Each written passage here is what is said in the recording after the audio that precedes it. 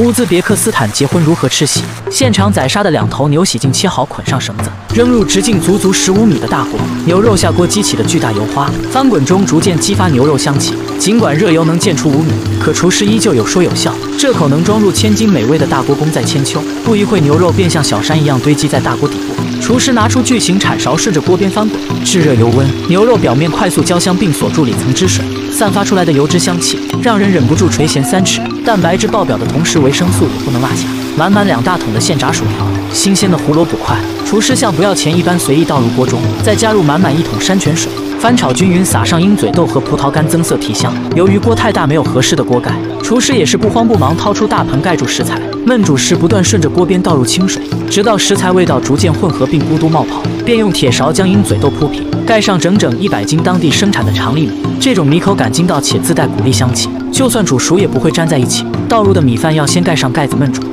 让米饭充分吸收浓郁汤汁，整个烹饪过程通常要持续六个小时左右，从清晨到日落。为让其均匀受热，每隔十分钟厨师便起身翻拌，使边角米饭也可浸入汤汁。长时间倾注耐心制作的牛肉焖饭，每粒米都混入肉香，蒸腾而上的热气。食客们不看新娘，全都围在了大锅旁边。伴随着起锅开饭，厨师先将肉块捞出，放在案板上切成小块。这时再将米饭从大锅里盛出，盖上软烂肉块，配上新鲜鸡蛋和筋道牛肠，便可端好上桌。完完成以后的牛肉焖饭，肉块软烂入味，香气四溢，米饭颗粒分明，筋道够味，真是好吃极了。